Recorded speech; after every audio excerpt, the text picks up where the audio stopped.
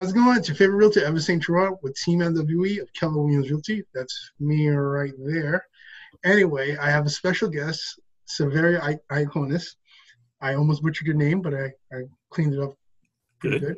Uh, Saverio, uh, you're a loan officer, uh, Right. but you also are a professor. Mm, You're correct.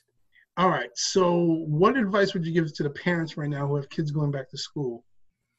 I mean, go ahead. Tell Okay, us. so as both an adjunct professor and a father who has kids in school, I think the first thing you have to do is acknowledge with the student that this is not a regular situation. So uh, it's okay if you are a little out of sorts. Okay. Um, as we're approaching um, the reopening, right, both at the colleges I teach at um, and the college where my daughter goes to school, and my son's uh, preparing to go back to a senior year of high school, um, they're starting to reflect on, yeah, I, I, the learning was tough at home. It's difficult to do what we normally do remotely. Um, however, now faced with going back and the potential of a spike, they're even more concerned. So it causes them to not just acknowledge difficulty, but um, kind of juggle the, the the benefits of either, right? Um, and I polled some of my college students the other night because the the school uh, is deciding some sort of hybrid modality, Mhm. and but 85 to 90 percent of them said, "No, no, we're good." As much as that stinks, working remotely online, it's safer for me to do it that way for now, or at least until this fall semester is over. Let's start Okay. 21 fresh. Okay. Um, now, and then again, there's another anecdote. I, I took my daughter to college a couple weeks ago. She went early because I had to quarantine and take tests. She calls me on Tuesday morning and says, uh, "Yeah, it's pretty bleak." And I said, "What do you mean? What do you mean by that, Grace?" And she says, "Well, you know, I, she's an upperclassman. She's an RA, right, a resident assistant in the dorm, and she sees the underclassmen not taking this seriously." Okay. So um, she said, "I don't be surprised if you're going to get a call from me shortly that we're going to have to quickly leave, right, in the cover of dark. You know, like go there and pack up and leave." Okay. So there's a lot of uncertainty, right? Um, that's why with uh, my son, we decided to stay home and work, right? That was one of the choices um, live, hybrid, or full remote. We decided full remote. Uh, his thought process is well, I know my friends over the summer have not been diligent about quarantining. So as as tough as the school and as as has made uh, as diligent as the school's been with their plans, and they've been really good about it, you can't account for activities outside of school, right? yeah, kids are gonna be kids. Kids are going to be kids, but I, I will tell you one thing that um, my my son did to to kind of um, deal with the monotony and the stress of it, and I and I started using it myself is, um, when you are attending your class, right? Mhm. Um, don't do it in your pajamas. I was gonna ask you. get up, go do what you would do as if you were getting ready to leave. Put on put on your sneakers, your you know your school sweats, your hoodie, right? And you get your books. You and then go back to your room as if you have changed your environment. How about not just putting on the clothes, pretending you're actually getting out the door to go to school, but Yeah. actually take that stuff, get out of your room, find another section in the house, and work from there. Just like most of us who are working as a parents have actually got out of their bedrooms, found a, someplace in the house basically to go quietly work. Uh, maybe an old room that no one was using, or it was a storage room, and now it turned into an office. Maybe just find a spot in the house, make that the new office or the study area. Yeah, I actually recommended that to my son, um, but his computer is like a uh, high-powered gaming computer, and he's got a lot of accessories hooked up. Okay. So he, to to move his laptop is would stress him out. But we offered use the dining room, come downstairs in my office, you know, or to change your physical environment, not just the surroundings. Um, we'll figure that one out. You know, maybe it's just uh, um, using another laptop we have in the house you know, as opposed to the original one. Well, as a parent, you have a teenage son. Mhm. for the people who are watching, they might have teenagers or, or maybe younger kids. Um, are you monitoring what they're doing for schoolwork, or are you just giving them their space for a couple hours and you're doing your own thing? The latter. I'm giving them their space mm-hmm. um, because uh, you know the first few weeks of this new environment back in like March, um, we had some regular check-ins, and they kind of earned the right for the space because I know that I learned that they were doing the right things and and the right steps, and I would follow up with the student the class and um, the teachers. They would email, so uh, they've kind of earned. Uh, well, my son, because my daughter's away at college, so my son's earned the right um, to the space. I don't need to check up on him. For those of the, the people who are watching that might have younger kids, what advice would you give them?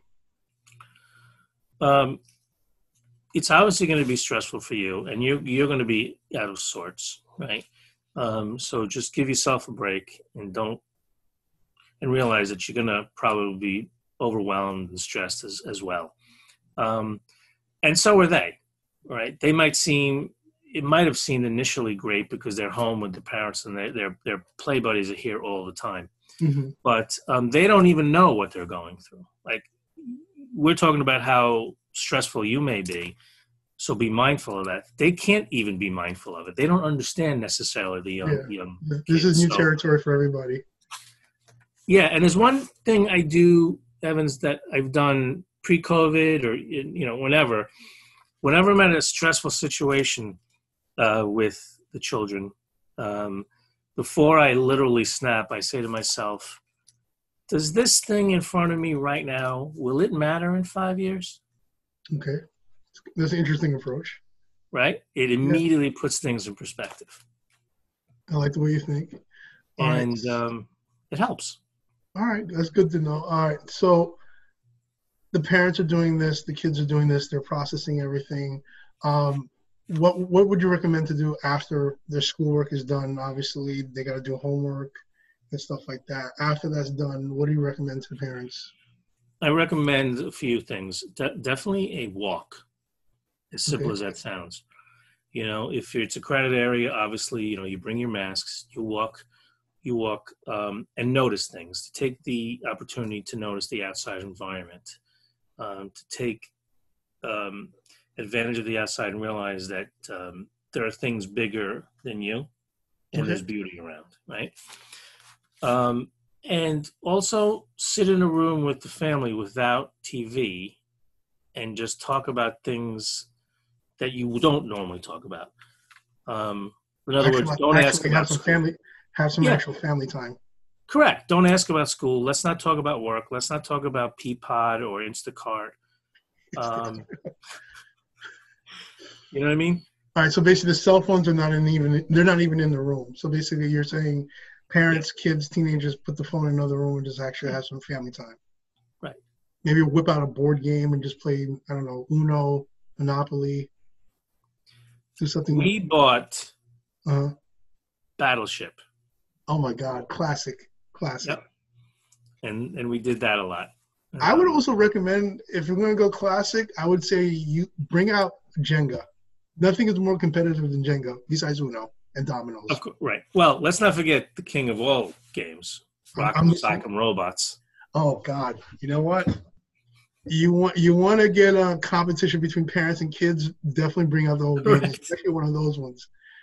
And the head goes up. Uh, yeah, you can get some stress out. Basically, the kids and the parents can get some stress out.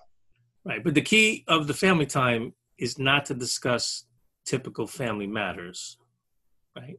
It's yeah. just to interact as a family unit that enjoys being with each other.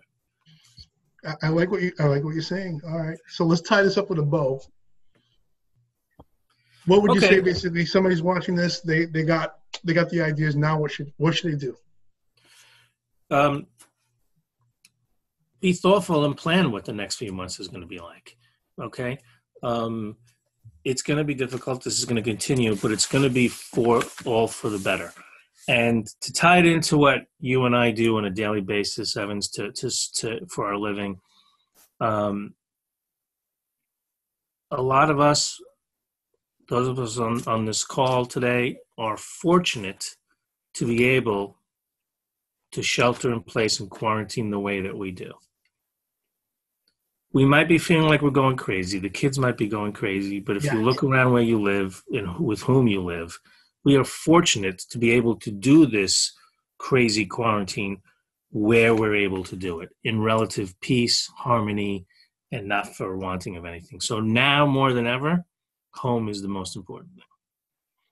All right. I don't think I could say anything else to top that. So, um, guys, thanks for watching. I'm Evan St. Gerard. You just watched uh, Saverio, I- Iaconis. Saverio, if they're interested in getting loans, uh, refinancing, or anything like that, how can they reach you? You can reach me on my direct number, 516 404 3052. That's my mobile, so you can text or call straight away. You know, I'm going to ask you to say the number again. 516 404 3052. All right. I'm Evan St. Gerard, I'm your friendly neighborhood realtor, and that's me right there. So the other ball guy, that's uh, Dean, that's my business partner. So if you have any questions about buying, selling, or investing in real estate, give me a call or give Dean. You can call me on my cell, which is 917-975-5985. Again, that number is 917-975-5985. I'll have my website at the end of the video. Again, thank you for watching. Remember to subscribe to this channel. If you have any questions about real estate, anything tied to real estate, give me a call. Talk to you soon. Bye.